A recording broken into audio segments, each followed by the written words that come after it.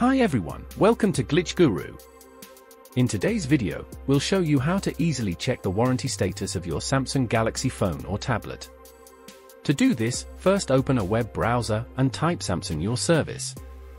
Then, select this Your Service option to head to Samsung's website. Here, tap this sign in option if you aren't already signed in. You will need to sign in using the same account you're using on your Galaxy phone or tablet. Once you're signed in, you should see all your registered products. Simply find your phone on this list using the model number. Then, tap this warranty information link to view the status. As you can see, it says out of warranty, which means my phone is no longer under warranty. It also shows the date on which the warranty ended. This works for all the Samsung products you own, be it phone, monitor, laptop or anything else.